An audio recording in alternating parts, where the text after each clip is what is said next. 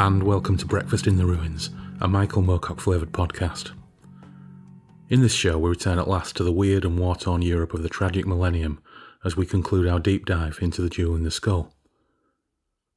We kicked off part one all the way back in November last year, picking up part two in February. Then Covid got in the way, Tash got stuck in Sri Lanka, and we've had to wait a good four months to pick it up again. Better late than never, though. In the meantime, I was lucky enough to play in deck the Dice's Hawkmoon RPG playing Agent of the Runestaff, the Banneret of Tanelorn, who was surely an avatar of Gerard Arthur Connolly, aka Newton Ewell, aka Bob Sugarman. More on him next time.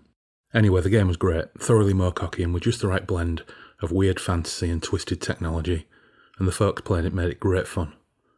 It just so happens that last month's episode of the Grognard Files was all about the Hawkmoon role playing game in its various guises. As I've said before, even if you're not a gamer, I heartily recommend that show for their insights into the source material. I'll link to their show in the blog post on breakfastintheruins.com. Last week's show, part 2 of The Eternal Champion, was our 10th episode proper, 11th if you include the short introductory show, and I'm already itching to develop the format and freshen things up a little bit. I'm not talking new coke, but just something to add a little variety. More on that next time too. As you'll know if you're a regular listener, occasional co-host Loz and our pal Neil who has helped me numerous times with audio considerations and advice, not least making part two of the Jewel in the Skull listenable. They used to have a band back in the day called Giantkind. As Loz is a Moorcock nerd, they even recorded a song called Breakfast in the Ruins. As it hasn't had much airplay over the years, I'm sticking it on the end of the show. As you probably know, but if you don't, I'll remind you, the intro and outro tunes are Giantkind numbers, and I understand they're setting up a Bandcamp page to put all of their tunes out for the digital generation, and old farts like me that lost their cassettes donkeys years ago. Anyway, back to Hawkmoon. As we progress into Book 3 of The Jewel in the Skull, we're exposed to the variety in style and content that it is possible to find in the space of what are relatively short books. And this one is a classic example of Moorcock's write a book in three days process from the late 60s, for both good and ill. So let's get into it. Our table is set, Tasha's ordered the tucker, she's brought the rum, and we've got stuff to digest.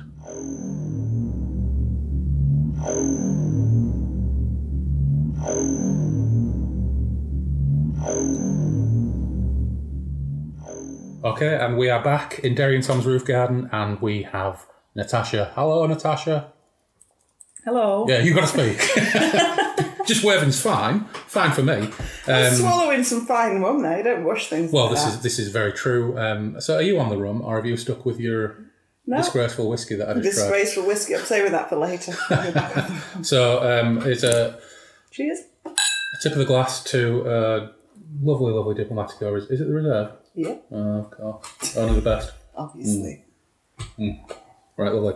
So, of course, we should have been recording this um, round about early March, but then COVID happened and you got stuck in Sri Lanka with a hotel for, your, to yourself for five days, which must have been a terrible hardship. Like the celebrity that I am. Yeah, but here we are, four months later, and we're finally getting round to hopefully conclude something that we actually kicked off back in November. Nope, this is the book that never ends. yeah. Oh, you know what? It does end, and does in some end. ways, thank fuck for that. oh dear God, uh, let it end. Yeah, but we'll, we'll you know we'll get into that for a short book. It did tend to overstay its welcome by the end.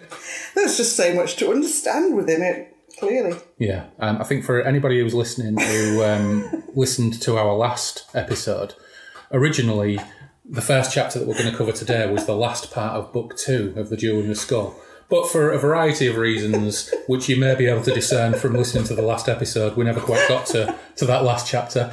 And I think in a way it's a good thing because I'm glad we started with this chapter because it's really, really good. And then we'll discuss how it goes after that. Had we just done book three on its own, I think it might have been quite a miserable experience. and short. And short and Some very of you short. might like that. But actually, we're, there's some spoilers there. It's, Oh. it's uh, certainly how I feel about uh, book three of The Jewel in the Skull. You may feel completely differently. Well, do you know what? A couple of rums. I'm sure we can string out for the I'm three sure we hours. can.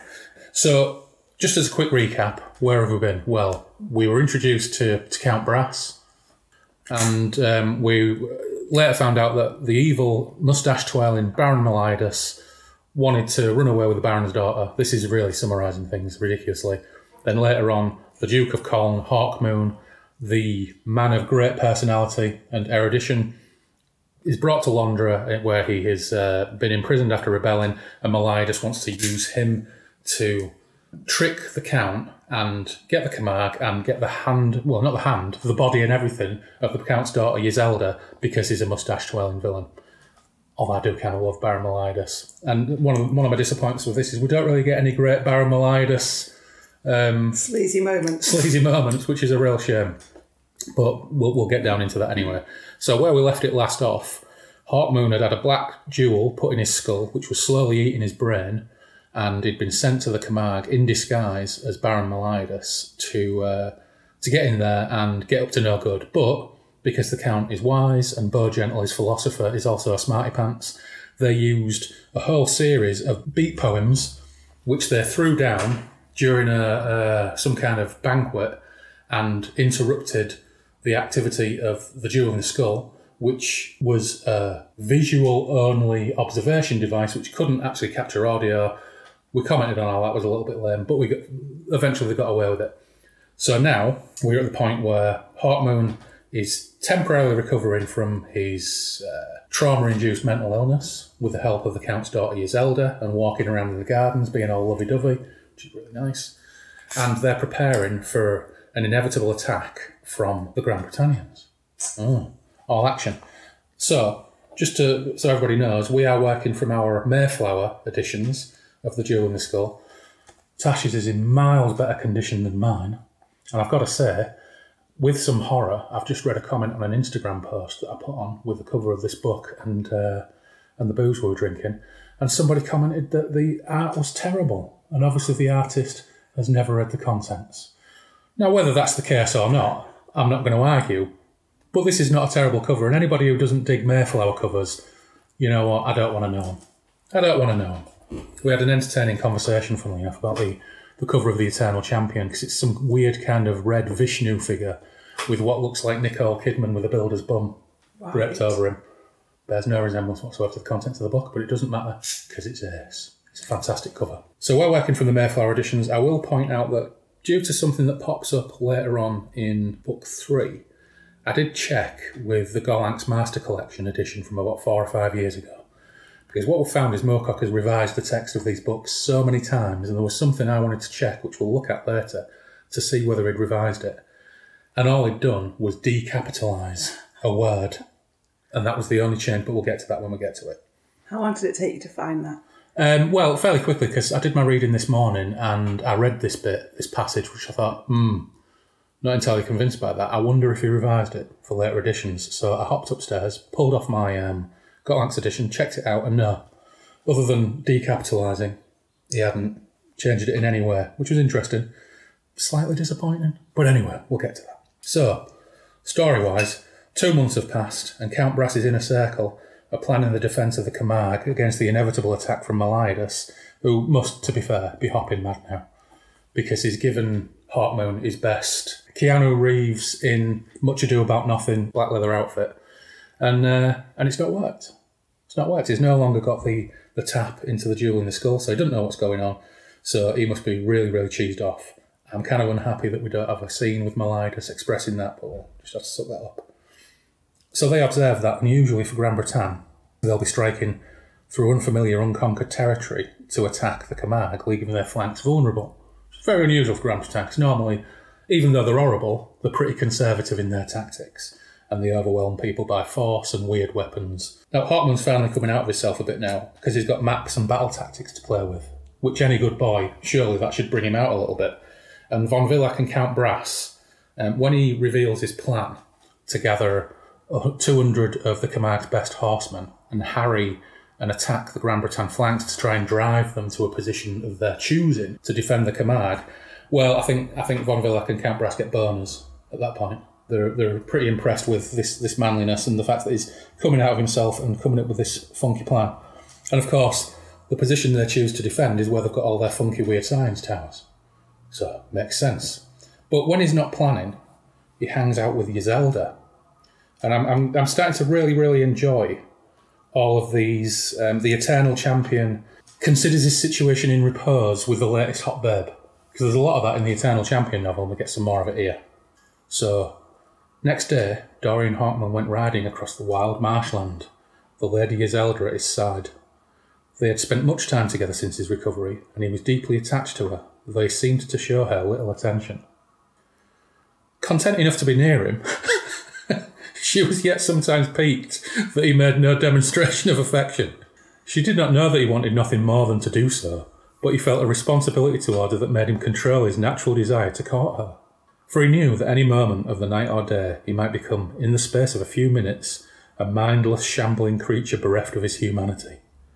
He lived constantly in the knowledge that the Black Jewel's power could burst the bonds Count Brass had cast around it, and that shortly afterwards the Lords of Granbretan would give the jewel its full life, and it would eat his mind. So he did not tell her that he loved her, and that this love had first stirred his inner mind from its slumber, and that because he saw this, Count Brass had spared his life. And she was, for her part, too shy to tell him of her love. At this point. At this point. So, what do you make of that? Is it because he, he thinks that he's protective of her, or is it because he thinks Count Brass will clear him in twain It's if he old, does anything dodgy? it's the old Buffy Angel um, dilemma, isn't it? Oh, you have to explain that to me because Do you not watch the Buffy I'm not a thing? Buffy Angel guy. I was that age at that time. Yeah, I don't own the DVDs and we don't do it every Saturday. yeah, But yeah, I think like the probably all seven seasons in the whole of Angel was probably about Angel had a soul because he was cursed. Hmm. So he was a vampire with a soul, but if he fell in love, then he'd lose his soul and turn back into a vampire. Ah. Almost directly lifted, no doubt, from Mr. Moorcock. Hmm. Um, you've got to put in some dramatic tension somewhere, haven't you? I suppose so. Um, Especially in a book this short, given Yeah. what we know to happen about 12 pages on. Or yeah, yeah. I'm, I'm, I'm beginning to um, come across trend when it comes to characterization of princesses, stroke counts, daughters, and their relationships with the Eternal Champion or whatever avatar of the Eternal Champion we're talking at the moment. So I, th- I think we commented in, in the last episode that basically any twat who walks through the door with a sword and a nice swish suit of armour, she's all over him like a rash. Because she fell for Meliadus pretty quickly. And she's falling for uh, Hawkmoon as well. This Village dude- life, though, isn't it? yeah, this dude who turned up and was completely flat and emotionless with a massive jewel in the middle of his skull, but he was dressed in swish armour and he's probably hot. So, fair game. Fair game. Fair game, they've got to go for it. I was a little bit mortified since then when you suggested that Moorcock himself may actually have heard these um, podcasts because I might not have been entirely flattering about the character development of um, or, in fact, other women who Well, I know for a fact that he listened to the first episode of uh, The Dreaming City, and I know that he listened to the birthday episode because he wished Phil a happy birthday in a context, mentioned certain things that he must have listened to the episode. Beyond that, I don't know. One, one would hope not, but if so, we apologise. Yeah. Um, we, we are absolutely armchair critiquing, and I personally have written nothing for publishing, publication in my life. Um, and if I did, it'd probably be shit. At which point, somebody else would sit home going, that was shit. Yeah. Um, And we've got to go back to the fact that we've ta- talked previously about the fact he, he wrote this in three days, probably on a shitload of speed. Um, he typed up notes, passed it to his mate behind him, then they went to the publisher and they were basically published as written. We will leave our verdict open as to whether that begins to show. We all have a good days. I think we might we may have said something a little bit more direct than that, Yeah. Andrew, in previous. Yeah, well, let's, when we get there, we can we can make a decision as to how direct we want to be. Right. So anyway, that's that nice little sweet interlude. We then cut to Hawkmoon with his armed men out on the range, wrecking and spying on the enemy. It was like a vast legion out of hell, moving slowly southward, battalion upon battalion of marching infantry, squadron after squadron of cavalry, every man masked so that it seemed that the entire animal kingdom marched against the Camargue. Tall banners sprouted from this throng, and metal standards swayed on long poles. There was the banner of, deep breath, Asrovak Mikosevaar, with its grinning sword-wielding corpse on whose shoulder a vulture perched. Beneath it were stitched the words "Death to Life." The tiny figure swaggering in his saddle close to this standard must be Asrovak Miko... Fuck. Asrovak Mikosevaar himself. Next to Baron Meliadus, he was the most ruthless of all the warlords of Granbretan. Nearby was the cat standard of Duke Vendel, Grand Constable of that order, the fly banner of Lord Jarrak Nankenseen, and a hundred other similar flags of a hundred other orders. Even the Mantis banner was there, though the Grand Constable was absent.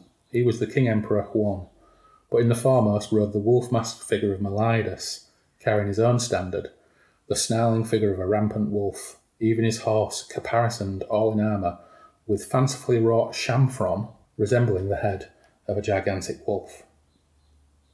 So the army. Hawkmoon's seen all this before, of course, but he's more interested in their course along the river with their supply barges packed side by side and end to end.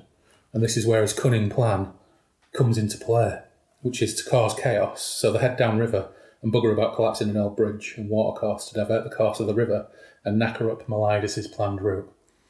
And it, it does, um, I think, it, it, bears some consideration as to um, how easily a massive Grand Britannian army might end up getting screwed up by some issues regarding traffic. You know what? Let's find out. Let's see if their heritage shows through. So the next day, this causes absolute chaos as they display their full and tragic inability to cope with traffic snafus, and everything grinds to an enormous halt because, of course, no matter how you re-describe them, the British just cannot cope with fucked up traffic. The river was now a morass of dark mud, and in it, like so many stranded whales, lay the battle barges of Granbretan, some with prows jutting high and sterns buried deep in the stuff of the riverbed, some on the sides, some bow first in the mud, some upside down, war engines scattered, livestock in panic, provisions ruined, and wading among all this the soldiers attempted to haul the budded crusted barges to land, free horses from their entangling ropes and straps, and rescue sheep, pigs, and cows that struggled wildly in the morass. Seems like a normal day down the M62, doesn't it? Pretty much. Bit of bad weather down the M62. That's First pretty much what flake happens. of snow. Yeah. Um, so this this gives Hot his opportunity, and that night his mounted warband quietly infiltrate the camp and cause a little bit of chaos. And this this is a this whole sneak into the camp at night thing has become quite a, a staple of these kind of things, hasn't Absolutely. it? I think it was definitely in an episode of the Game of, Game of the Game of Thrones. Wrong, Um, wrong person here. You were a Gemmell person, weren't you? No. No, it's Eddings.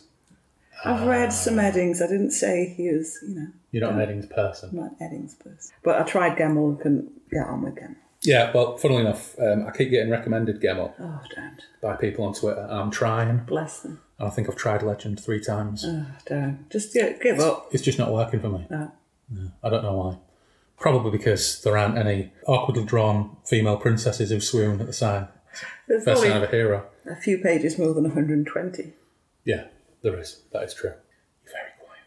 Well, you're reading from the book. Yeah. I'm like, it's like story time here. we just ate. So I'm just like, oh, Jackanory, excellent. Uh, right, well, let's have another read then. So they're piling around, knocking over tents. It says, At last, his sword glistening with blood, Hawkmoon fought his way to the centre of this circle, and there stood what he sought the proud mantis banner of the order of which the King Emperor himself was Grand Constable. A band of warriors stood around it, pulling on helmets and adjusting the shields on their arms. Probably still in the jammers, I reckon, which is a bit unfortunate for them. Without waiting to see if his men followed, Hawkmoon thundered towards them with a wild yell. A shiver ran up his arm as his sword clanged against the shield of the nearest warrior, but he lifted it again, and the sword split the shield, gashing the face of the man behind it so that he reeled back, spitting blood from his ruined mouth. Another Hawkmoon took in the side, and another's head was shorn off clean. His blade rose and fell like some relentless machine, and now his men joined him, pressing the warriors farther and farther back into a tighter and tighter ring around the mantis banner.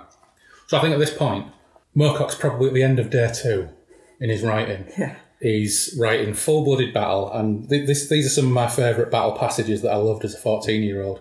There's something that's always thoroughly entertaining and visceral about the idea of a ruined mouth due to a sword blow and people spitting teeth, spinning around and spitting teeth. You, you, you can't beat a bit of that, can you? Oh, or can you? Can you? Hmm. Well, again, back to his great writing ability. Hmm. It's actually a few pages hmm. where, and as we know, across the genre, you could go a whole chapter of them crossing a battlefield. But he also conveys both the strategy and the detail. Yeah. As you say, gives you a visceral experience of the battle. Yeah. So for me, when I read these, especially when you get the, oh, here's a whole chapter of them, you know, sword fighting, and only powered left. Oh, did he? That's brilliant. Yeah. Um, I tend to skim read it. Um, but with this one, there's not enough to skim read. No. And that's it. And, and again, that's his that's his gift, isn't it? Yeah, it's When, it, like- when he's on form. It's a skim description of a, of a, uh, a scrap Yeah. that's super vivid and, and um, helps you realise a vision of what's going on. And we get a little bit more of that when he gets into a, a fight further on. But right now, he's, he's, he's in that zone where he's rattling this stuff on a typewriter and he's he's in his in the middle of his I don't know whatever his fuel in his fugue state. He's right there in the middle of it, and and this stuff is just flying off his typewriter. And this whole chapter is really fantastic in terms of mood and action and everything. He's a great action writer. He's a good fantasy writer. He's a good science fiction writer, but like it or not, and I don't know whether he likes it or not. I'm sure he takes some pride in it. He's a really fucking good action writer when it when it comes down to it. I wonder. I mean, I hope again he doesn't listen to any more of our podcasts, but I do wonder if he heard it, he'd be sitting there going, "You've no idea that book took me six months. I had the worst, worst mental block. I couldn't think of the next word. You're tossing it off. I tried all the drugs, nothing worked. But it would be interesting. Yeah, and it's definitely well recorded um, in, in interview after interview where he does explain that these these books were basically tossed off he, he was he probably took his typewriter to the bog and probably didn't bathe or anything like that. Um, even the Folio Society uh, were on Twitter a couple of weeks ago talking about it because the Folio Society apparently have, have some Moorcock on their list of things to publish. Mm. If there is ever a Folio Society Moorcock edition, I'll be all over it like a rash. So anyway, by this point, the Black Jewel's been spotted by some of the Grand Britannian warriors, and so has been busted, so they know exactly who it is. So he starts charging around again, shouting "Hawkmoon, Hawk Moon!" And uh, they decide that discretion is the better part of valor at this point and piss off back to their secret hideaway cave, realizing that Meliadus will have the engineers probably attempts to undam the river again, which they expect. So they leap into action again the next day, and there's lots more scrapping, lots more furious Moorcock action. It's vivid, it's exciting, it's visceral, and there's a big scrap at the dam. Hawkmoon's horse, protected by chain armour, staggered as a huge man swung a double bladed war axe at it. The horse fell, dragging Hawkmoon with it, its body trapping him. The vulture faced axeman moved in, raising the weapon over Hawkmoon's face. Hawkmoon pulled his arm from beneath the horse, and there was a sword in his hand that swept up just in time to take the main force of the blow. The horse was clambering to its feet again. Hawkmoon sprang up and grabbed its reins, while at the same time protecting himself from the swinging axe. Once, twice, thrice the weapons met, until Hawkmoon's sword arm ached. Then he slid his blade down the shaft and struck the axeman's fists. Hawkmoon's adversary let go of the weapon with one hand, and a muffled oath coming from within the mask. Hawkmoon smashed his sword against the metal mask, denting it. The man groaned and staggered. Hawkmoon got both hands on the grip of the broadsword and brought the blade around to chop deep into the head again. The vulture mask split and a bloodied face was revealed, the bearded mouth screaming for mercy. Hawkmoon's eyes narrowed, for he loathed the mercenaries more than he loathed the Granbretanians. He delivered a third blow to the head, staving in all of one side, so that the man waltzed backwards, already dead, and crumpled against one of his fellows who was engaged with a Camarguian horseman. Once again, really good writing of nasty fighting, but we've got to call him out as a bit of a hypocrite here, because we know from the last one that he served as a Grand Britannian mercenary for about a year. How does he know that this guy isn't doing it for the same reasons he did? Bloody hypocrite. So this anyway, this continues for a few days, and there's lots and lots of descriptions of, of more scrapping. But by this point on my reread, I'm impatient for some Meliadus by now. I want some Meliadus action. I want to know what he's thinking. I want that narrative switch of perspective. Sadly, we don't get it, which is a bit disappointing. And after four more failed attempts to dismantle the damn Meliadus, finally just goes there himself and spots Hawkmoon. And they do actually have uh, a brief exchange, which is slightly Meliadusy, but a little bit, a little bit disappointing. My thanks, Baron Meliadus, said Hawkmoon. The nurturing you gave me in Londra seems to have improved my strength. Oh, Hawkmoon, Meliadus replied, his voice soft but shaking with rage. I know not how you escaped the power of the Black Jewel, but you will suffer a fate many thousand times greater than the one you have avoided when I take the Camargue and once again make you my prisoner. And anyway, loads of other people turn up and they're, they're part ways and bugger off again. So yeah, slightly disappointed they don't have a bit more of uh, an entertaining exchange because sadly for the rest of the book, Meliadus doesn't really get any good dialogue. And there was loads of good dialogue in the other parts. Arguably, there's not a lot of good dialogue for the rest of it. Well, yeah, there is that. So more wolves arrive, so they piss off. Uh, job done, Hawkmoon and gang return back to Castle Brass. And a day or two later, Meliadus and his army arrived at the planned spot that they've driven into. And after a brief parley, when Count Brass sends them packing, well, they turn up and uh, Meliadus doesn't speak, does he? And his, his uh, his herald says, Oh, leave the castle. We'll let you all go. We'll let you all live. And Count Brass goes, Fuck off. And I beat Meliadus in a fight once. I can beat him again and sends him off with a tail between his legs. So finally, several pages into the chapter called The Battle of the Camargue, we actually get the Battle of the Camargue. Oh, good lord. And what does it kick off with? Giant flamingos versus ornithopters. Uh, we have psychedelic tower weapons and some sweaty mano, uh, mano action. Hawkmoon can see Meliadus supervising the battle from a distance, so he gets stuck in. Hawkmoon saw Meliadus some distance in the rear and recognised the barbaric vulture mask of Asrovak Mikosevaar as the huge Muscovian led his vulture legion on foot and was one of the first to cross the swamp and reach the slopes of the hill. Hawkmoon trotted his horse forward a little so that he would be directly in the path of Mikozavar when he approached. He heard a bellow, and the vulture mask glared at him with eyes of ruby. Aha, Hawkmoon, the dog that has worried at us for so long. Now let's see how you conduct yourself in a fair fight, traitor. Call me not traitor, Hawkmoon said angrily. You sniffer of corpses. Mikosevaar hefted his great war axe in his arm and hands, bellowed again, and began to run towards Hawkmoon, who jumped from his horse and with shield and broadsword prepared to defend himself. Now, I'm, I'm not going to read this all out because I love that Moorcock can describe an epic, violent sea battle in a page and bring it vividly to life. But here we get a page, maybe a page and a half on Hawkmoon versus Mikosevaar, and he actually goes into a little bit more detail about this mano a mano encounter, and it's fucking great. It's cinematic, it's sweaty, it's bloody, it's violent. And again, I'm reminded reading this of why I love this as a 14 year old. Where at the time, every other book I was reading was probably a Sven Hassel novel. So all that, all that gritty, horrible violence, I was, I was super, super into it. You know, no, no real spoilers, but he defeats Mikosevaar, of course, and looks over. And Von Vil- old Von Villach is uh, is having his own fight with Mygel Holst, another one of these constables, and, and he defeats him. And the Grand Britannia army, horrified now at this turn of events and in disarray, they actually start to uh, to break down. Hawkmoon thought he heard a great scream of rage rise from the retreating army. Thought he recognised the vengeful sound as that of Meliadus, and he smiled.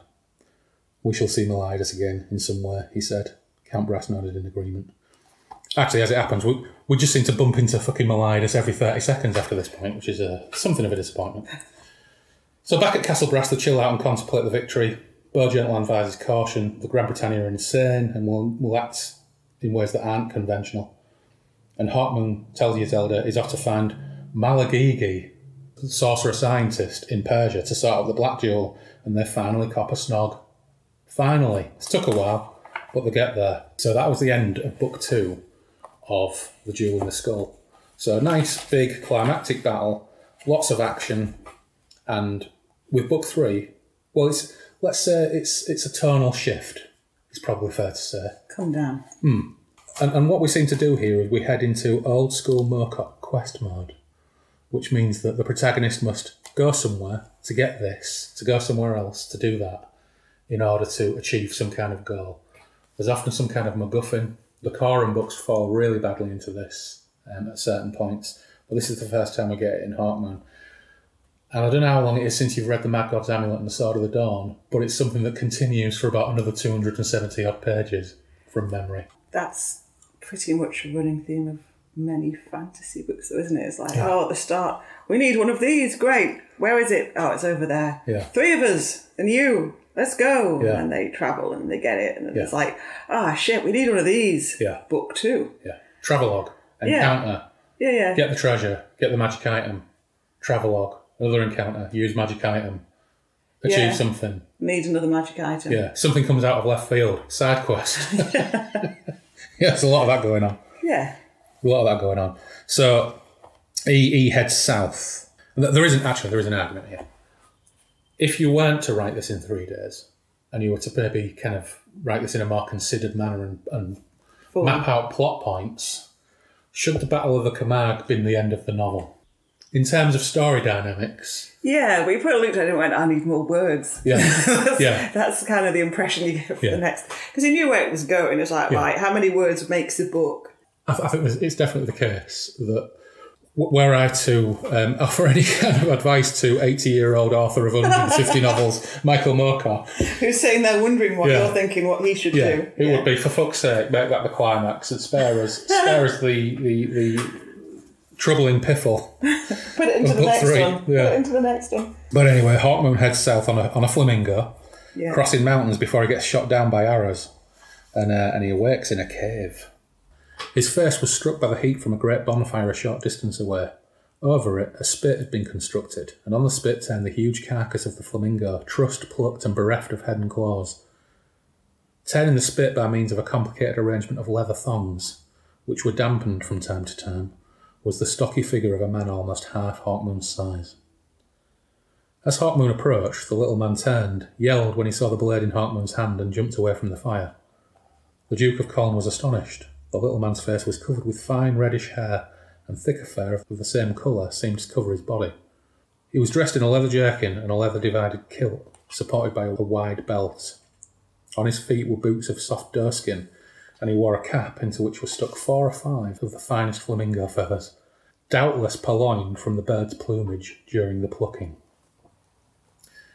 So, turns out this fella, Oladahn, is the archetypal companion to champions that we get in all Michael Moorcock novels, where he might as well just pop out of a bush and say, Hello, I will be your companion from here on in. But we do get a little bit of description that, you know, Hawkmoon kind of likes him and immediately confides in him. So poor Oladahn, who's just shot this guy down, now finds himself in a cave having to share his meal with this dude who's telling him his fucking life story, which, you know, he probably didn't deserve, but he's, he's a good natured sort, so he takes it all on board. And Oladahn offers to replace his mount. Something that can fly? asks Hawkmoon. Sadly, no. A goat's the beast I had in mind. Before Hawkmoon could speak, Oladahn continued. I have a certain influence in these mountains, being regarded as something of curiosity. I'm a crossbred animal, you see, the result of a union between an adventurous youth of peculiar tastes, a sorcerer of sorts, and a mountain giantess. Alas, I am an orphan now, for mother ate father one hard winter, then mother was eaten in turn by my uncle Barkios, the terror of these parts, largest and fiercest of the mountain giants. Since then, I've lived alone with only my poor father's books for company. I am an outcast, too strange to be accepted either by my father's race or by my mother's, living on my wits. If I were not so small, doubtless I should have been eaten also by Uncle Barkios by now. Which is a nice little story. I like the story, although that's virtually the last thing and all he says Yeah. for the entire book. Yeah, other than here, Hawkmoon, take this, or something, Yes. um, or something similar. It's he he may uh, as well be a black female in a white romantic comedy. Yeah, um, if if we, we should really try and create some kind of Bechdel test Yes. That applies to Hawkmoon companions. I mean, Yeah. th- these books would all fail the Bechdel test, wouldn't they? Absolutely. By several magnitudes. I mean, I suppose it does turn out vaguely useful when brigands show up and he casts a sleep spell on the leader, which is a, a nice classic bit of D and D action, and then they escape on pony-sized goats. So a bit a bit of a tonal shift from what's gone before, with all this talk of ruined mouths and rending people's heads and smashing people's faces in. Best it chills out a bit. Yeah, They have a nice meal. I always like a good fantasy story where they sit down and have a nice meal of flamingo. Yeah, I think there, there is a point where he, he mentions that he shoves a giant drumstick towards Hawkmoon. And yeah, my 14 year old self could also identify with, with that. Sitting in a cave with a fire with a little fairy bloke feeding me giant drumsticks. I could go there. That's that's partially, you know, m- matches the male power fantasy archetype. Fuck But it. I think we've said, probably said, I can't remember most of our conversations, but I'm pretty sure we've said before, you do get the odd meal, but you don't get every fucking meal, which is, you know, there's, a, there's an amount of meals. That's the right amount of meals Yeah. in fantasy. Yeah, and, and he nails it. Punctuate my stories with occasional occasional giant haunches of, of, of something. Yeah, don't make it the food and wine show Yeah, yeah. plus jewel finding. Yeah. Even as a child, there was something about depictions of um, roast meat that always made me happy. Did you ever read Asterix books? Remember when they always ended with a with a banquet with, Yes. with roast bars on plates? As a child, I would salivate at those pages. Which probably explains why I'm the size I am. Um, I'm very easily pleased when it comes to depictions of roast meat. So, chapter 12, the caravan of Agonosvos. Good lord. So travelogue time again for a page or two as they uh, as they begin to travel through some rainy forests. The jewel begins to gnaw away at Hawkmoon's head again, and they come across a colourful caravan full of wildly diverse people and creatures, all of whom look thoroughly downtrodden and miserable, it's fair to say. And it turns out, for some reason, Hawkmoon suspects he knows the bloke in charge, an ancient exile from Colne who was banished 900 years ago. This is all incredibly convenient, Isn't it? isn't it? Um, but to cut a long story short, this is basically a D&D encounter. This is a totally a D&D encounter. The encounter with caravan. Turns out the head of the caravan is a villain. They get captured, they escape with a map, some horses, and some other miscellaneous booty. And they um, get away from this villain who turns out to be some kind of hideously disfigured guy who wants to pull his helmet off. After all that's gone before, it's, it, it's a bit simplistic and a bit rubbish and a bit a bit Doctor Who cliffhanger. um, oh no, we've been captured, but it's all right, we've escaped again. But I suppose it's, it's necessary to move things on so we can get to chapter three. Oh, it's the Warrior and Jet and Gold again. Oh, not this guy. So again, we cut to Hawkmoon and Oladahn. They've made significant progress. They've left out the travelogue for us, and they're now at sea chatting to a finely apparelled captain. I've got to say, I'm quite jealous of this captain's garb. Is this your current self or your 14 year old self? This is my current self. Yeah. The heavy Tarkian merchantman clove through the calm waters of the ocean, foam breaking over its bow, its single lateen sail stretched like a bird's wing as it took that strong wind. The captain of the vessel, in gold tasseled hat and braided jacket, his long skirts held to his ankles by bands of gold, stood with Hawkmoon and Oladahn in the stern of the ship. The captain jerked his thumb at the two huge blue horses corralled on the lower deck. Fine beasts, masters. I've never seen the like in these parts. He scratched at his pointed beard. You would not sell them? I'm part owner of this vessel and could afford a good price. Hawkmoon shook his head. These horses are worth more to me than any riches. I can believe it, replied the captain, missing his meaning. He looked up as the man in the topmast yelled and waved, stretching his arms to the west. And the spots some Dark Empire ships. So it turns out we find out that the Granbretanians are down here as well, which in what I'm assuming is probably the Mediterranean or something, um, as they head to Persia. The dock head east, avoiding groups of troops commanded by complements of Granbretanians, but nevertheless they get jumped. And this really does feel like his speed's worn off by this point.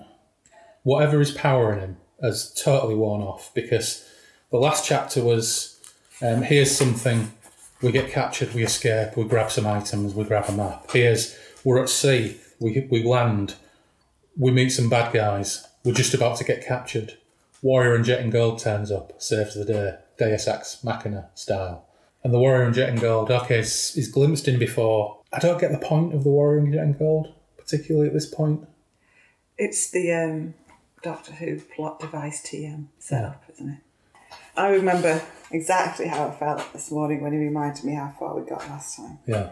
And I knew I had to read this bit over again, just for the third time this year, and this is exactly why. But I did find it does, and this is exactly what I remember from pretty much reading them back to back as a teenager. It does lend itself to speed reading quite well, and, Yeah. and it brings it back to that, um, you know, penny publishing kind of easy read, kind of accessible pop literature. Yeah, and I I think that's part of the frustration with Moorcock, isn't it? When- When you when within the same book you've got his best and his worst. Well, it can't all be his best. S- Sometimes within a very very short space of each other. So Hawkmoon turned to where the warrior jet and gold sat his horse silently. I thank you, my lord, he said. You have followed me a long way. He resheathed his sword. Longer than you know, Dorian Hawkmoon, came the rich, echoing voice of the warrior. You ride to Hamadan? Aye, to seek the sorcerer Malagigi. Good. I'll ride with you some of the way. It's not far now. Who are you? Hawkmoon asked. Who may I thank? I am the warrior in jet and gold. Do not thank me for saving your life. You do not realize yet what I have saved it for. Come. And the warrior led them away from the lake. Okay. Okay, fine. Be all mysterious. A week later, they arrive at Hamadan, and the warrior and jet and gold buggers off again, being all mysterious. He's like, "Ah, I'll, uh, I'll leave you now." So Hamadan is being rent by battle, Granbretanians, locals, bat monsters. It's chaos. There's a hot babe in a chariot. Tells him why and what's going on. She uh, she's fighting against her brother for control, and he's in bed with the Granbretanians. So Hawkmoon and Oladahn they have a bit of a fight, a particularly uninspired fight. Then they find Malagigi's house and hammer on the gate. And okay, here we go. Now this is what I checked earlier on to see if he'd revised this for later editions. At last the gate swung open, and four huge negroes armed with pikes and dressed in purple robes barred the way. Hawkmoon saw a courtyard behind them. He tried to ride forward, but the pikes menaced him immediately. What business have you with our master, Malagigi? one of the Negroes asked. Now, the only thing that's changed here is in this, Negroes is capitalised. and in the Gollancz collection from 2008 or 9 or whatever, or 12, um, it's decapitalised. Now, it, it, it does make you wonder what the thought process was there to go back and address this piece of text, and the only thing potentially you do is decapitalise it. Did he do it or did some, you know, No idea. But do it? the, the Gollancz Master Collection claims that they are the definitive texts reviewed and revised by Moorcock himself. Now, that's not particularly unusual to come across in old science fiction and sword and sorcery and fantasy, but it's quite jarring when you read it again for the first time in 25 years. I think in, in Elric, it, it would have been, it was huge eunuchs Right. so he swapped out eunuchs for Negroes. And this old geezer basically tells him to fuck off because he wants nothing to do with the war. He says, I'm to play no part in your internal warring. So Meliadus turns up again. Of course. And Small world. yeah, so Meliadus turns up, they exchange a couple of words. Not enough for you. Yeah, and then um, and then they just bugger off again because there's too many of them. So they bugger off back to the hills, and the warrior in jet and gold, who mysteriously disappeared only about two pages ago, is up there hanging out with the hot chariot queen. I must go now, Hawkmoon. I've got to talk to this chick on a hill 200 yards away. It dispels a little bit of the mystery, doesn't it? It really Oh, does. really is that small? Yeah. So it turns out she's Queen Frawbra. Another well-rounded female Yeah. character. gets better. Um, very shortly, it gets even better. Uh, so, a soldier comes from the town and says Meliadus has now captured Malagigi. This, this really is. This is how a, dungeon master would try and progress the plot when the players were fucking it up really, really badly. The players have got have gone to the gates of his house. They've rolled charm on the four huge Negroes, failed, buggered off. Thought, what do we do now? So, the, so the dungeon master goes, oh, for fuck's sake. I'll have something happen that, that progresses the plot. I um, no plan survives contact with the enemy, does it? No. I think we discussed because I did the live role play Yeah. Laser Quest, um, and, and they, they, they, they would craft these amazing scripts, and it made Yeah. perfect, absolutely perfect sense Friday night to Sunday lunchtime. Um, by about, it would start about half seven on a Friday night. By half eight, nine o'clock, we were writing everything because we put the players in the obvious device plot TM setup. Um, you know, you need to find this, you've broken down a shit, blah, blah, blah, set it in something, then you gave them the background. They've spent weeks researching the characters, deciding what they're doing. Yeah. I always monstered because I'm not that weird. Yeah. Like, so I don't mind, like, running at people, but I can't be bothered to, you know, like, be weird.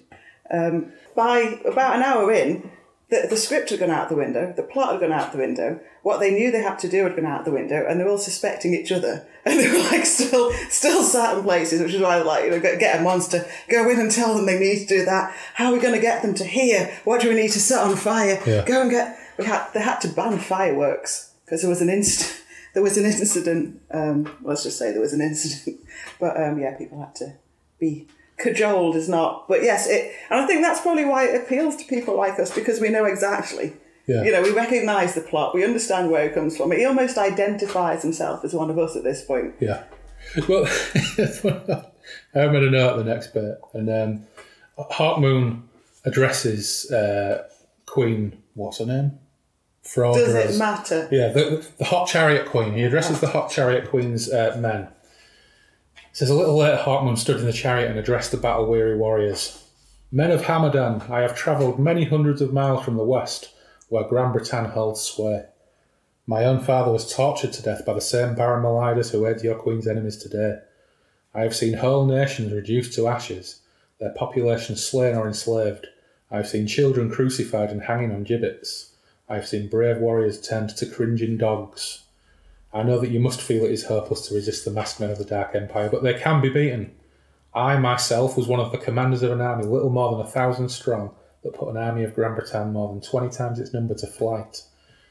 It was our will to live that enabled us to do it, our knowledge that even if we fled, we would be hunted down and die eventually, ignobly. You can at least die courageously like men, and know that there is a chance of defeating the forces that have taken your city today. Dot dot dot dot. He spoke on in this vein, and gradually the tired warriors rallied.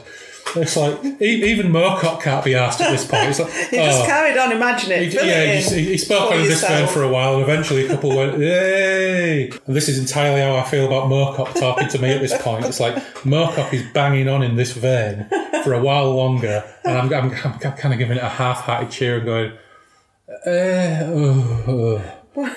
I mean, the self awareness it takes to just go, you ain't listening, I ain't listening. Yeah. So the Queen says, We'll attack tonight, giving them no time to get wind of our plans. I'll ride with you, I think, said the warrior in jet and gold. Well, thanks, mate. Um, you know, do what, do what you got to do. See you tomorrow. So back into Hamadan, more fighting, and this this by this point it hardly feels like the same author anymore. When you read the the descriptions of the action now compared to the descriptions of the action only three or four chapters ago, which was probably last night in real terms, he's he's everything that has been taken has deserted him now. Hawkmoon's got a banging headache from the Black Jewel, but lo, turns out Oladahn nicked Agonosvos's helmet and tells Hawkmoon this helm has certain properties. There are circuits built into it. Blah, blah, blah, blah. So, all the way through this book, we've got Moorcock descriptions of weird science, and by the end, it's just like, oh yeah, this helmet's got some circuits in it. Works for me. Oh, God. Let me invent a whole pseudoscience of bullshit let you for page upon page. Yeah. No. No, it's, it's, it's just it's just it's just got an old fucking Pentium motherboard in it. Look, you've Deal accepted he's got a jewel in his head. Yeah, but this is the thing. I accept all that. I accept that the Jewel doesn't record audio; it only shows video. I could deal with all that, but don't tell me about a helmet that's got some circuits in it.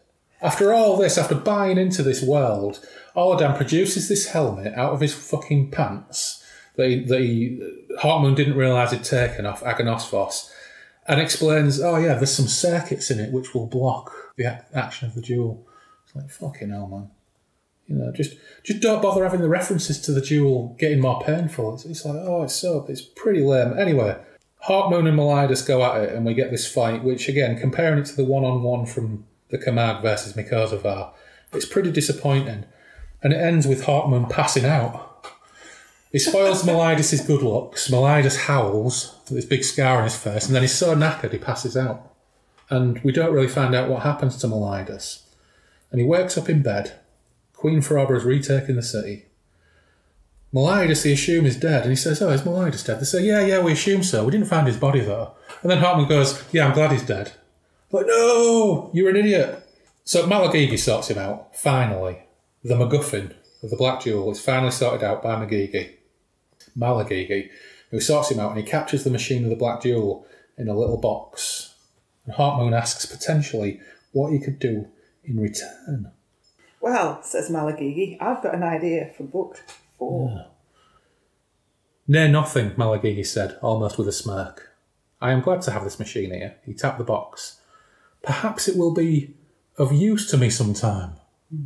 Besides, dot, dot, dot. He frowned, staring thoughtfully at Hawkmoon. What is it? Oh, nothing. Uh, yeah, potential set. Maybe, maybe we'll get a Malagigi spin-off. Malagigi and the and the brain machine or something. Live and hope. Yeah, so that could be important later on. Anyway, Warrior and Jet and Girl goes to sod off again because basically all he does is turn up, sod off, turn up, sod off, sometimes within the space of a single page. But not before acknowledging that he serves the mysterious rune staff. And then, and that Hawkmoon probably does as well. And Hawkmoon's like, "Hmm, I'm not sure about that. Never heard of it. And Alvin goes, Oh, the rune staff, mysterious, legends. And then Queen Frawbra, the hot chariot babe, offers to share Let's the call a throne. woman too, shall we? Yeah. Yeah. Yeah. She offers to share the throne of smoking Hamadan with Hawkmoon. So she's only known him about 35 seconds. He looks good Hmm. in that outfit. It, it must be, yeah, he must still be wearing his, uh, his Outfit. Keanu Reeves outfit. But he goes, no. The end. Thanks very much. The end of the Jewel in the Take skull. a hard pass on that one, bitch. What what a roller coaster! What a rubbish roller coaster. Now I'm not going to say parts one and two were rubbish because they were. Parts one and two were great. The world building was brilliant. Really love all the world building. Okay, Hawkmoon's a bit of a downer. We have waxed lyrical on some of these descriptions, haven't we? We have, and, and I, I think if anybody listens to this in isolation, please, please, please listen to episodes one and two, where we are, Drunk. admittedly, considerably more drunk, But The episode A probably is going to be shorter because of what we've just said about the book. So Yeah. we'll, although I can type your glass up, we'll see if we can make it more interesting for you guys. Yeah. We, it's definitely the case that this episode reflects one massive peak. It's, it's basically a single peak roller coaster. This episode, it's one big peak and then a mad rush though, down. like a like a graph, like a curve. yeah. And we don't want to flatten the curve. We want to enjoy the ride. Surf that. No, unfortunately, it's one massive downhill fucking pile from really, the peak. from And there ain't even a log flume. There ain't even any water at the bottom. It's just a, a gradual, leathery, Doesn't it go on the dusty grind to a What's it? halt in Hamadan. Do they just? Was that the start of the next one? Am I jumping ahead? I think you may be jumping ahead, and and it's um, it is easily twenty five years since I've read the rest of these. Well, I started on the next one thinking naively that would be done with this one, and that you know, like one book per podcast because it is in fact how many pages is it? A decent sized print. Yeah. Like we've spent how many hours is it now, Andrew? Because you've listened to it over and over. One hundred and fifty six. Yeah, I think by the, by the time we're finished, there'll be a good four hours talking about this one book. Yeah, Yeah. and other things.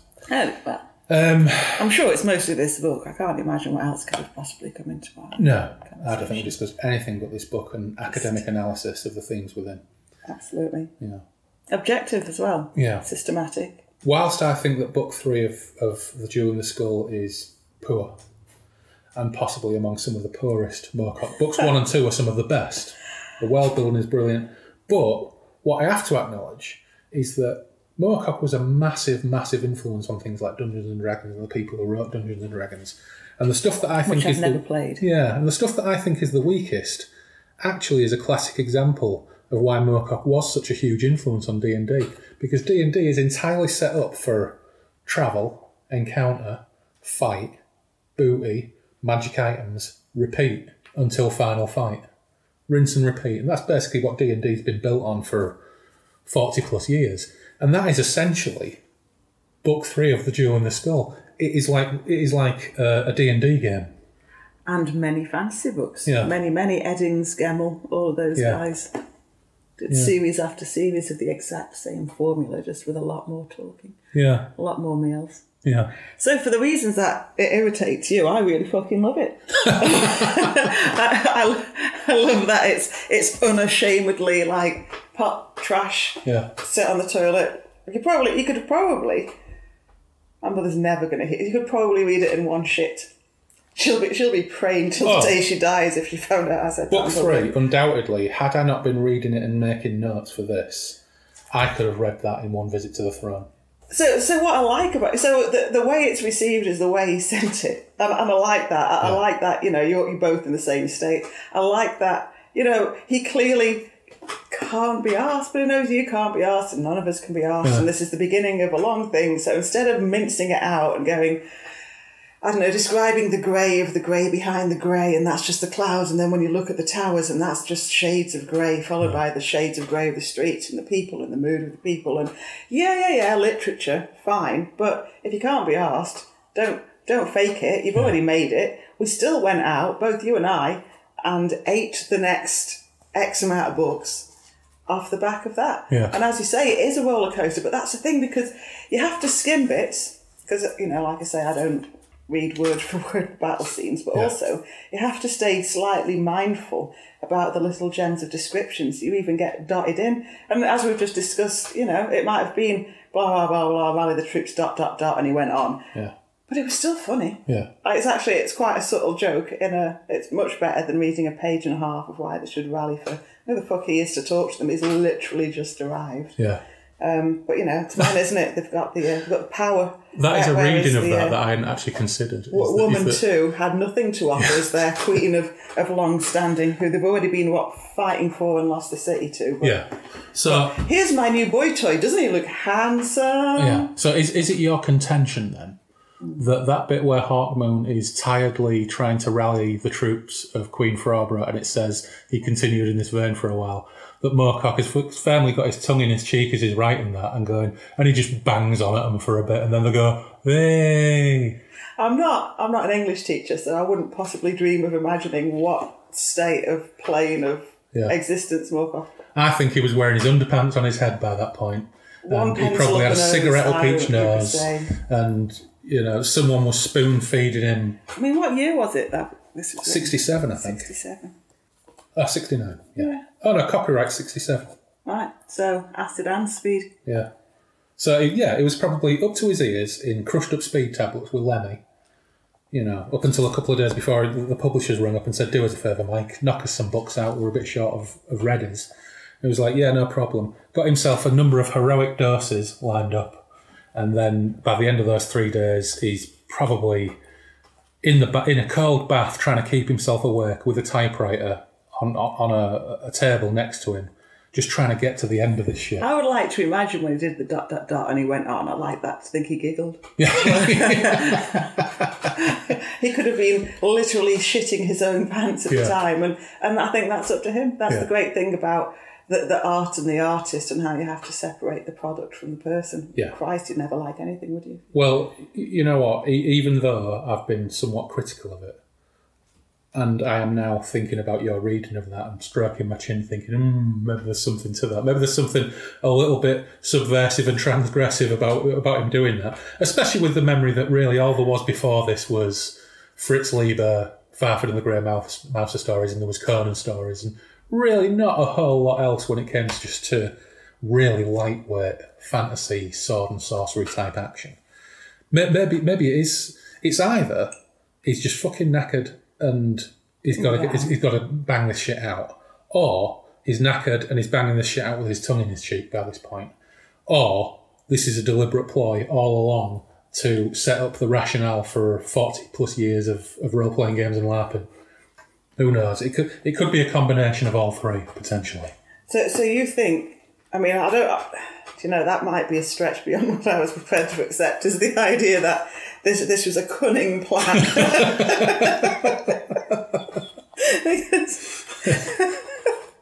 I think the pencils up in those ideas probably a bit more more close to it. Yeah. The, the, the accidental impact that it's had on the you know the genre. Yeah. Um, and again, the fact that, as you say, you're bitching about it, I actually think I've read, for example, The Wheel of Fucking Time. That was that exact, what, 40 pages Yeah. over weeks of my life, literally weeks of my life I will never get back from, oh, let's go here, let's find that, let's go here, let's find that. Oh, you're such a hero. Oh, rally the troops. You know, just all of it. Um, over and over and over, wash, rinse, repeat, and it's tedious. And the fact that he's done it Yeah.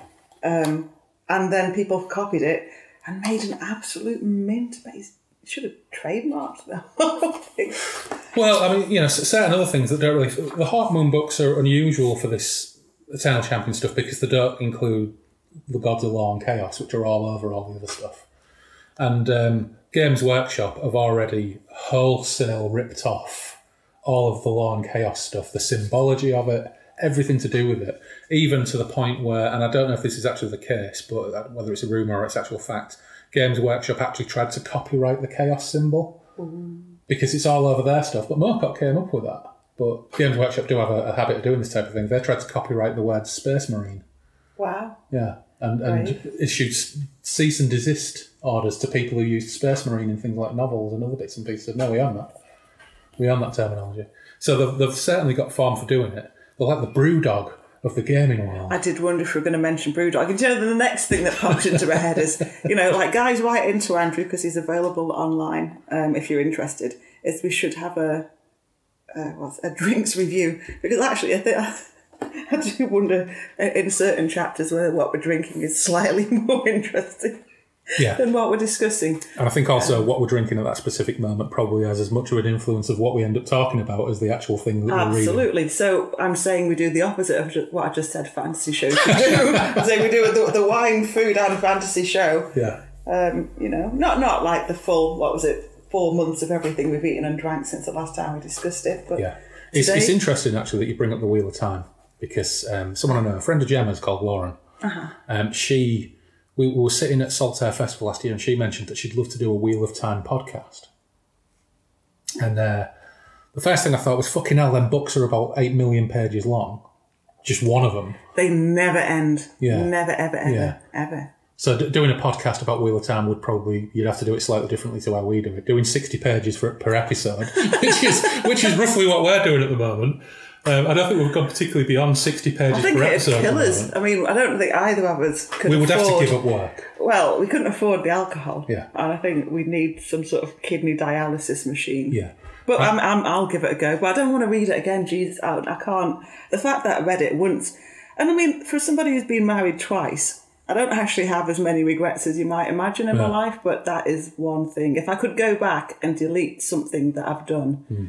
Probably, and you'd be surprised, you might think it would be episode two of this podcast. But it was actually, it was actually You know, that's out there for posterity now. Yeah, but that was Even three if I hours. stop doing As I this, say, that- this I will continue to pay weeks. hosting fees just to keep episode two out there, just so people can rediscover it. Yeah, I promise. I'll rediscover that conversation one day, maybe when. No, after, having that conversation at, uh, at Solitaire with Lauren, I, I thought, right, after all these years of people saying the Wheel of Time novels are good or bad or indifferent, and I know we'd had a conversation about the Wheel of Time at one point, and knowing the fact that kind of Dune style, the author dies before he finishes. I'm not surprised. Yeah. I think that's probably what made him give up on life. Yeah. Even then, I actually picked up the first three from a charity shop, and I tried reading the first one. Oh, fuck that. Mate, the first three are the best three. I think it goes, it goes on for another 20. Yeah. No. If you didn't like book one, you're not going to like book nine. you know, when, when I read 30 or 40 pages or something and I get to the end of those 30 or 40 pages and I think, I haven't got a fucking clue what I've just read and I haven't taken any of it in. I've just been reading the words and they might as well have just been hitting my brain and falling out my nose. I was like, yeah, that's not working for me. That, I'm sure that's what killed the author. Yeah. But I think it was Brandon. I'm sure. I'm, I'm sure we've discussed this, but I don't want to. I don't want to be so vain as to listen to my own conversation in case I said something interesting. Yeah. Um, but Brandon Sanderson, who took over, essentially has built a career exactly on the format that we've just read in the last 40 pages. Right. Absolutely. He's, he's so classic, formulaic. However, is inoffensive. is he's probably the modern Moorcock, except he's, he's consistently average, but he, he churns them out, you know, sort of mm. Mills and Boon style of a certain size that Yeah. you can't be angry at. You know, well, you can if you want to care about quality, but it's I thought so. that but- I'm jealous. I'd love to make a living doing that. Absolutely. I, I mean, I again, I've written nothing, Brandon. So thanks very much. I have read several books and paid for them. I'm Yeah. not. I'm not. I ain't pissing on you. I'm just Yeah. saying. You know, it's it's it's the modern Moorcock. But anyway, so he's the one who finished. I'm assuming he's fucking finished Wheel of Time. But what I would love, and if you haven't finished it, this is what I'd love to have happen. Like the last page. Just a big spaceship turns up and just nukes the fucking planet. Like, and all this, also what is described as like a dot appeared in the sky and then a big flame and then everything just blew up. Because I think that is that is the length and breadth of my personal interest in any weft or weave Yeah. of that fucking tapestry. Hmm. That's not far off the end of the stand. It's not a spaceship; it's the hand of God in the stand. But, it's, but it's basically like you know, you read a thousand pages, and then it's it all climaxes with, and then the hand of God sorted it out. Yeah, Like, Feist had one never read a Stephen. King book again after that. Yeah, Feist had one of those moments. He wasted, so, But then he is getting on. wasted hours on that fucking book. Yeah, like book twenty eight, and like now there's a there's a army of angels, Yeah, and then I think they got eaten. I'm like what? I, I daily hope that it, it was. And uh, I think they got eaten. That would be perfect. Seriously, like it's like oh, then there's like oh, there was all this that was going on behind all that. Uh, bless him, that the same character gets recycled, but Yeah. not an eternal champion, just the same name of the same family who just Yeah. happens to have the exact same traits over and over. Bless. I read his books, bought his books, would have still been reading his books if he could be bothered to. I think we've said before, proofread them. Yeah, That's where I draw the line. But yeah, this this horde of angels, like book twenty six or hmm. something, and then and then they just get eaten. yeah. And I'm like, well, A, where did they come from? And then what ate it? And then how are you going to close this off in your final book when we haven't even met? Anyway, Yeah. So we've reached the end of the Skull. There's, there's a few, have we? Yeah, there's a few questions. Is it we need to true? ask. It's true. Is it real? You don't have to read it again. You're not lying to me. You don't have to read it again. I was convinced we'd done it last time. Yeah. Most disappointed No, to the- find the- we hadn't. The, the trauma is over for now. Uh, but there are a couple of crucial questions we need to address. And, and the first is we need to hop on Lord Shark's ostentatious couch, which on this occasion is um, just a couple of old breeze blocks and planks covered in slugs. But don't worry, we're going to pop on Lord Shark's ostentatious couch and we're going to cast Hawkmoon, the series, for the BBC. Woman one, woman two, Tom Yeah. Cruise. Yeah. clearly. Yeah, so we- there's we've already got yeah we've already got Keanu Reeves Yes. as uh, as a stand-in for Peter Wyngarde because Yes. he's dead for Meliadus. Right. So So we can't have dead actors. no, well I we could do fancy casting, but let's let's try and give the BBC something to work with. So find some fucking money, BBC, and get Keanu Reeves and get him a Peter Wyngarde tash and haircut and get him in the black leathers as Meliadus. Just just get him in the black leathers. Get him in the black leathers. Post pictures. Yeah. You can crowdfund it. I think Count Brass needs to be that tall ginger bloke out of Game of Thrones. I would personally, um, I would like to see Brian Blessed play Bowgentle. Brian Blessed as Bowgentle. Now that would work. That would be awesome. Yeah, because he's, he's, he's too old and too far gone to play to play the count. But yeah, get him in as Bowgentle. Because when he does his four pages of beat poetry, That's what it's made for. we would Yeah. we would edit out nothing. Nothing. That'd just be one whole episode yeah, of Brian Blessed doing beat poetry. yeah, absolutely. Okay, I'm on board with that. Excellent. So we've got Gentle, we've got Count Brass potentially, even though you don't know what I'm talking about. Now the tough one is Hawkmoon. What actors are out there who are sufficiently blank personality wise? Cumberbatch. He can No, be. he's, Yeah, in, but he's in everything. I know, but that is blank. Any other acts? He'll be he'll be Sherlock in all of them. No, he overacts too I was much I was I think- clearly joking. Yeah, I think you'd need someone like. Uh, The the guy who plays Thor, oh yeah, he's pretty bland, isn't he? yeah, he's pretty bland. That Yeah. kind of that kind of homogenous, square chin, flat faced kind of allegedly Yeah, panty wetting kind of yeah, hunk. Because that's going to be what made the Queen, you know, hand over her entire army to a guy who just turned up, yeah. asked her for a favour. I'm sure we'll get all these guys on the BBC budget. Yeah. BBC World will do it. Go on. Yeah, absolutely. So listen to us, BBC. We've cast it for you. We've done half the work for you, so no problem there. So serious question number two is we're covering Moorcock books and we're podcasting Moorcock books. You haven't told me who Count Brass is yet. Um, oh, that guy out of Game of Thrones. Ah. He's he's naturally redheaded. He's got an impressive beard. Ooh. It's terrifying. Ah, well, that's That, that for, that's. Count Brass for me. He's a good actor as well. He's a bit younger than I'd pictured him. Yeah, but I, I could see him having an 18 year old daughter. Count Brass doesn't have to be 50 or 60. I think he just needs to be, you know, middle aged. I think he, I think he'd do a good job. Yeah, I, I think I agree with that. I like you. him, and he's, he's, he's a natural redhead. He's got a beard. He carries it off well, and he's also extremely tall. He's about six foot two, six foot three, Excellent. so he could carry that off quite nicely. We fixed And it. his name is Something. Kristofer Hivju. So I'd, I'd quite happily have him as, as Count Brass. So next question. We've been podcasting about Michael Moorcock books and we've talked about the folly that would be to podcast about Wheel of Time books. If we were to podcast about another book as a break from Moorcock, what would you choose? Me. Hmm. Something that you've already read. No, no, something potentially that you would say, read this and let's podcast about it. Ooh. Mm. Ooh. I Can maybe come back to that one. Have a think Well, about I, it. I can think of several things, but I think you should do a poll because the thing is, are we going to stick with fantasy or do we do something? Anything from your formative years that were in the same way for me formative as Moorcock was? Right. So it'll be your choice. My mother used to buy me, and I don't know why. Presumably, she thought it put me off Men for Life. Barbara Cartland books. Wow. And, know and I would get a pack of them at Christmas, which is probably why I like the size of book. and, and it starts like this Woman one, daughter of rich bloke, told she needs to marry some bloke. Runs away, meets a bloke in a forest. He always thinks she's a wood nymph. Hmm? There must have been a lot of wood nymphs around. He takes her in, she stays with him, because that's what happened. Uh, but all legit, obviously. Falls in love, realises he's the bloke she needs to marry. Yeah. Marries him. Uh, every single fucking book. Right. And I read a lot of them. I wouldn't put either of us through that again, even just thinking about it's been quite traumatic. Okay, well, I, I will. I am inwardly see, sign. Uh, Uh, sign getting out of that. Uh, Have you read any Christopher Brookmyre? No, I, th- I think what we need to do is uh, we've talked about Mercedes Lackey, we've talked about Eddings, you've mentioned Chris Brookmyre before. Mm. I think you need to come up with three books that potentially we could give some thought to podcasting about.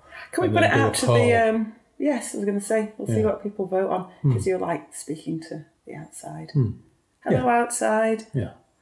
And the last question before we finish is We're finishing, is that it? well, this could go on for hours, obviously, but we've got to draw it to a halt at some point. Last question for, for this show, so it's, so it's so it's not two hours long, is we'll finish the Jewel in the Skull, Would your preference be for the next time we do this, when we stick to Moorcock, to go on to Mad God's Amulet or something else? Ooh. Well, we have a What have you got in your Moorcock pile? we've got um we've got a behold the man plan, haven't we? We have got a Behold the Man plan, but I think I think the intention is to do that as some kind of panel. Exactly. Yeah. So I think I'll leave you with some homework then. Right. Three Take books. a look. Yeah, so three books that aren't Moorcock to put out to a poll. And Because the what problem is the next starting with an Moorcock book? Eddings is you're on another 900 pager, aren't you? Yeah. They're not on Only Moorcock. caveat, must not be 900 pages long. Yeah. Don't want to overcommit you. Yeah. I'll give it some thought. Do you know, there's an interesting. I mean, if I, people want to comment, because you guys will probably get this turned around before I've made any kind of decision. Yeah. Um, so in the 90s, I was reading some uh, cyberpunk by Jeff Noon, Yeah. which was, I thought was, like everything at the time, I always thought it was dystopian. Yeah. And it took me a long time to realise that one person's dystopia was another person's utopia. Yeah. Um, Yeah, I never read any Jeff Noon. I read William Gibson. And I read I read some William Alec Gibson. I didn't- Effinger. To be fair, when I was talking about the grey on grey, that's Yeah. I think the start of Neuromancer. That just made me think, oh, get fucked. Yeah, the, the start of Neuromancer now would make no sense to people less than 25 years old because it starts with the sky was tuned to the colour of a dead TV channel. Meaning static, whereas. So you're loving it, whereas I remember reading it, started reading it, going, ah, fuck off. Well, no, I, I remember that distinctly because I always thought it was it, it was a good line.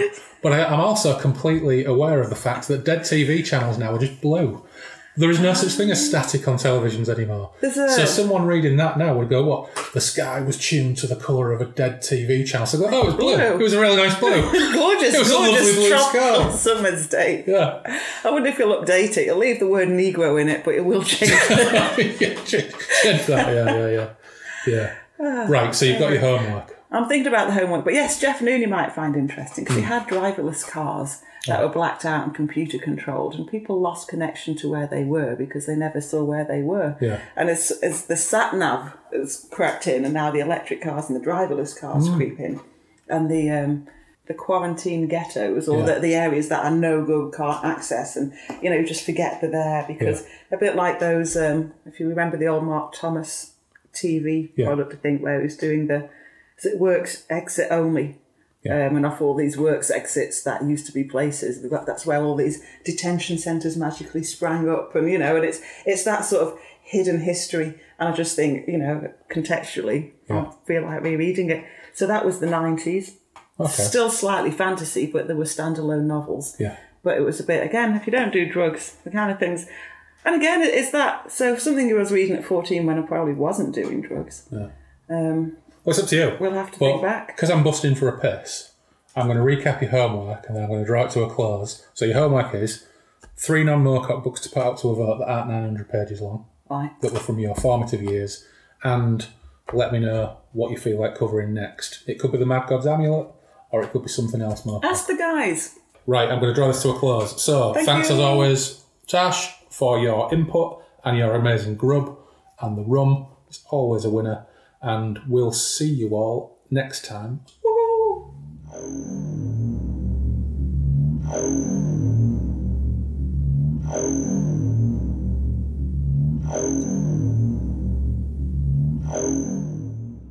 So finally, another book concluded. Thanks as ever to Tash for the great food and rum, and we'll have a good long think about what Tash does next as we're keen to spread the aspect of the Eternal Champion around a bit and get some different takes. Speaking of which, our latest patron, my old mucker Robbo, drew some comparisons between Moorcock and Philip K. Dick that are absolutely fair. He sent me this. Listening to the Eternal Champion episode, I think Moorcock was influenced by Philip K. Dick a lot with the who am I, what is real angle of the multiple characters. He's referenced him as an influence, I think. Yeah, th- Robert, there is some truth to that. Moorcock said in an interview a few years back in The Guardian I found Dick by happy coincidence. In 1959, we both appeared in the magazine New Worlds. My story Peace on Earth, written with Barrington Bayley under the joint pseudonym Michael Barrington, alongside Time Out of Joint, which was serialised over three issues. It had a pretty standard SF plot, but Dick's ideas hooked me. Later, with other enthusiasts, I helped Dick find prestigious publishers such as Penguin and Cape, leading to his early literary acceptance in England long before he was widely respected in the US. Robbo added, That makes sense. A lot of speed induced paranoia in PKD's stuff. He was around some incredible influences at the time. Also, Moorcock was a child who would have wandered bomb battered London post the war and its aftermath. The adults traumatised by it in his childhood world seem to be huge influences too. He was born into a world of chaos, threat, and the aftermath of its dictators. The leaders of surety which cost the lives of millions. All his characters are flawed, a warning against surety. Count Brass is a fool. He's Chamberlain the Appeaser at the start. He nearly loses his daughter and ignores the obvious demon in the room despite plenty of warnings. He's almost victim of his own narcissism. I am strong and powerful see the bullfight in brackets, and have good intentions, so I know best. Meliadus plays his narcissism and nearly gets his daughter as a cost. Moorcock is constantly warning against the terror of following without question. It ends badly. That's a good reading of the situation, Mr. Robinson. If any had been that astute when you were scrawling all sorts of gubbins all over my Garfield pencil case back in the day, instead of paying attention to Mr. Crone and his wacky hair wings. Anyway, Cheers, Robbo, and thanks again for joining us as a patron. And thanks, as always, to Tom, Malpertwee, David, Matt, Simon, Jim, Fred, and our very own Lord of the Higher Plains, Norman. I'm still super stoked to have all of your support. Also, Fred, our very best wishes to you right now. You're such a warm and positive presence, and we're beaming that warmth and positivity right back at you at the moment. Also, thanks to all those friends of the show out there on Twitter who listen and give their thoughts and feedback. We'll have a few of those to share on the final part of the Eternal Champion in a few weeks. We are at Breakfast Ruins on Twitter and Instagram. The website and blog is breakfastintheruins.com. And if you want to drop us an old fashioned email, you can get us on breakfastruins at outlook.com. But in the immortal words of Marty de enough of my yakking. Sit back, listen to the melodies and dulcet tones of Giantkind and Breakfast in the Ruins, and I'll catch you next time on the Moonbeam Roads. I teeter near a brink behind this chair. A blank abyss, it's moving, it's crumbling. I think I can ignore this.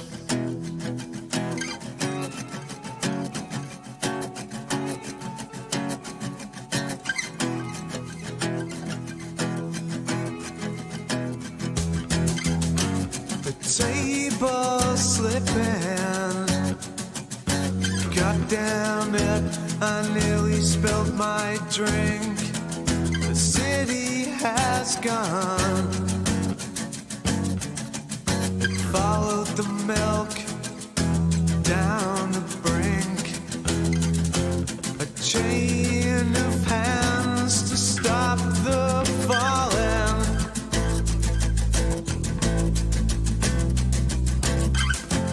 A chain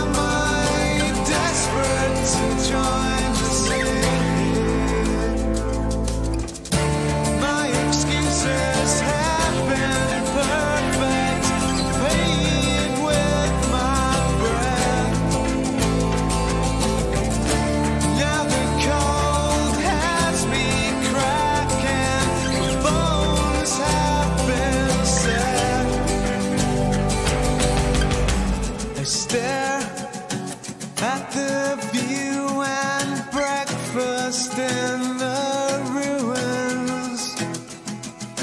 Nothing can bother me. I love the taste, the taste of apathy. A chain of hands to stop the.